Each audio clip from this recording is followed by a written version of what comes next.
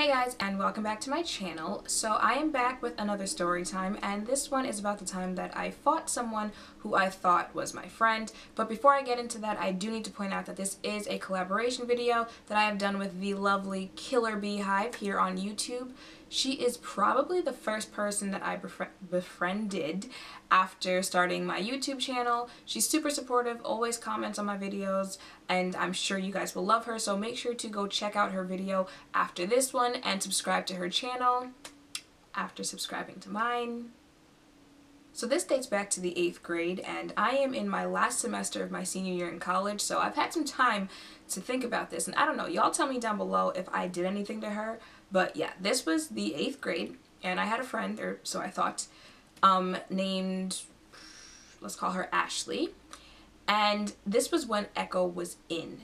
Like Ecko was like the urban Aeropostale, Abercrombie and Fitch, whatever. Like it was today's Forever 21 true religion. I don't even know. But there's a point for me bringing the Ecko up because I'm pretty sure like this is low key why all of this went down. So I let what was her name? Ash so I let Ashley borrow my Ecko sweatshirt. And as a kid, have any of you ever like let someone borrow something without telling your parents? And then your parents are like, hey, where's such and such? And you're just like, I had to get my sweatshirt back because my mama don't play that. So the next time that I saw Ashley, I was like, hey, can I have my sweatshirt back?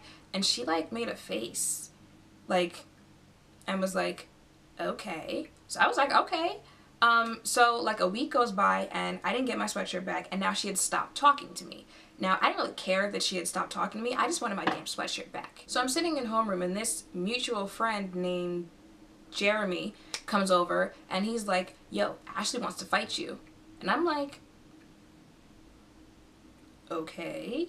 And he goes, well, aren't you going to say anything? And I was like, nah, bruh. Because here's how I rationalize it. He was sitting with her before he came over to me, so I figure either two things. One, you guys were talking about me and he told you that he was going to come say what he said to me and you didn't stop him. Or two, you guys were talking about me and you told him to come over and say what he said to me. So either way, I had nothing to say back to her because clearly she wasn't that bothered if she couldn't have come to to and told me that herself. So we're past homeroom now and now I'm in English.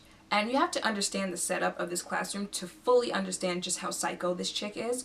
So I'm sitting here and the teacher's desk is like right behind me and then Ashley is sitting like to the back and to the right of the teacher's desk. So unless I'm some type of like mutant science experiment gone wrong, there's no possible way that I can see what she's doing or she can see what or who I'm looking at. So I'm going to assume that we were having time to complete an assignment or I don't know because the teacher wasn't teaching and I was sitting there and talking to people who were sitting around me and all I hear is who's she rolling her eyes at? Now, I kept on about my business because I have nothing to do with someone behind me seeing someone roll their eyes, eyes at them. So someone was like, you talking to me? And she goes, no, Shanygne. And I was like,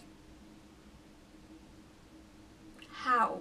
Mind you, the teacher was sitting behind me and clearly heard what she said and did nothing about it. And the person sitting next to me was like, aren't you going to say anything? And I was like, no, because I have no idea what the hell she's talking about. So the day goes on and person after person is coming up to me telling me, Ashley said this, Ashley said that, Ashley wants to fight you. And none of them got a response from me because I don't care.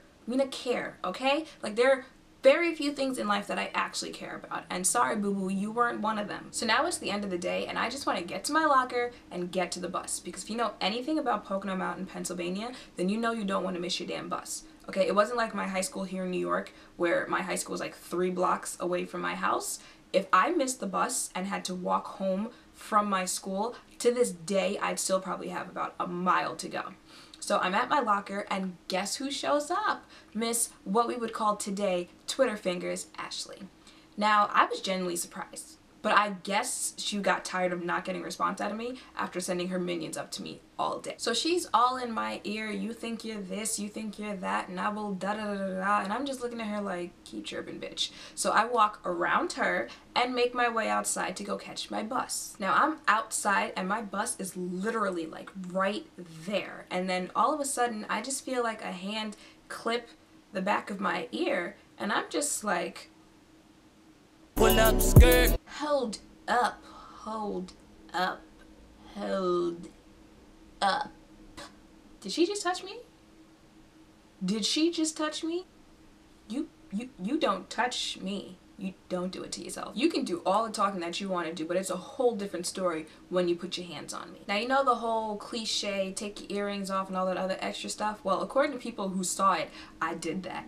Like, that was back when I still wore hoops. Now, look, I'm not going to get on here and try to flex for the YT, but I went to town on that ass alright? And that was back when I was plumper, so the size difference was at least a little bit more tolerable since her ass was so damn big as compared to now where I weigh like 100 pounds on a good day. Like, I just remember swinging on her and trying to get her into a headlock because she kept pulling the back of my ponytail trying to get us down to the ground and I knew that just couldn't happen. So they separate us and she's just like, aha, aha, you got your ass whooped. How's it feel? How's it feel? And for the millionth time that day, I was left with my face like,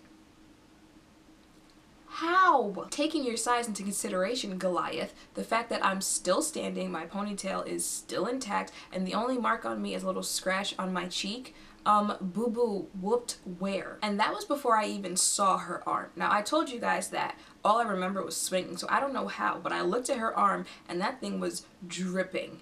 Okay, now I almost felt sorry for her because I told you guys in my story time, the subway brawl, that I'm not a confrontational person. Like, I'm not out here trying to boss up on anybody. I don't want to see anybody hurts. But then I remembered that one, she started this, and two, even with a bloody arm, she's still talking mess.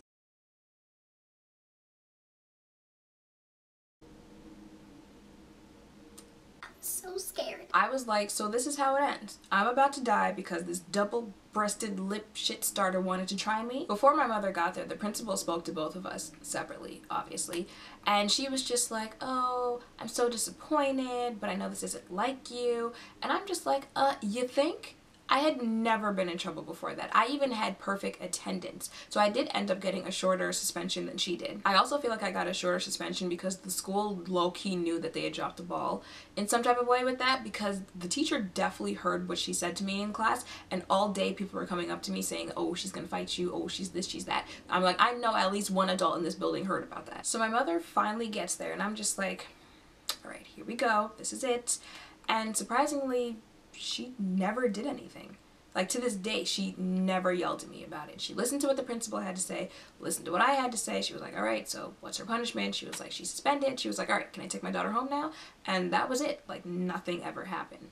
I still feel like she's like just waiting until I least expect it to explode. Now, around the time that this fight happened, my family was in the process of moving back to New York.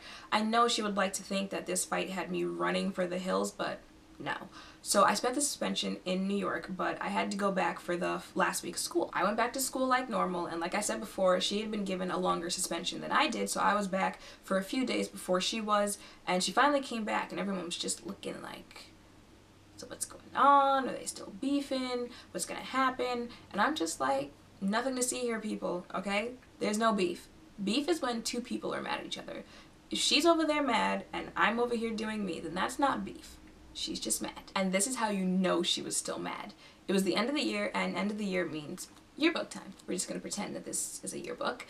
And people were passing my yearbook around signing it. And my friend comes up to me and she's like, guess what? So I'm like, what? And she goes, um, Trevor was signing your yearbook and Ashley took it and she threw it and she bent up all the pages. And I'm just like, Ooh, she's shaking the yearbook, y'all. Like, are you really that pressed? Do you really need attention that badly? Well, there you go. Here you go, boo-boo. There you go. So I took my bent up yearbook, went home, moved without my damn sweatshirt, and I went on with the rest of my life. I don't know what happened to her. I don't care what happened to her. I've had people try to tell me like, oh, she's doing this and she's doing, she's doing that. And I'm just like, keep that mess over there, bruh. Like, ain't nobody worried about her. The biggest issue that I had with this whole thing was being suspended from school. Like, I don't play when it comes to my education. And I was so paranoid. I was like, I'm not gonna get into college. This is gonna be my record for the rest of my life. But as I mentioned before, I'm a senior in college. So obviously that didn't happen, but it could have it could have happened and that's why people really need to like stop and think like don't allow someone who has nothing to lose to cost you or block you from your blessings by taking you out of your element they're just not worth it. So that was my first and hopefully last fight ever. Like I said before, let me know what you would have done or what you think I could have done differently. Make sure to thumbs up, comment, and subscribe down below. Thank you all for watching and I will see you in the next one. Bye!